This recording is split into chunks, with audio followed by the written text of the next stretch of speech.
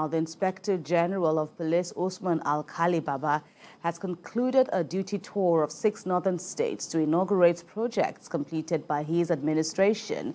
A statement signed by the Force Public Relations Officer, CSP Muyiwa Adejobi, highlighted the projects inaugurated by the IGP to include modern police stations with barracks attached to them, as well as the renovation of vital police infrastructure.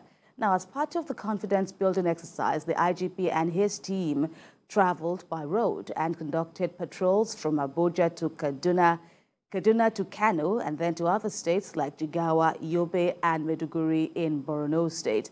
IGP Alkali Baba noted that a similar road trip to inaugurate projects in the southern part of the country will soon commence.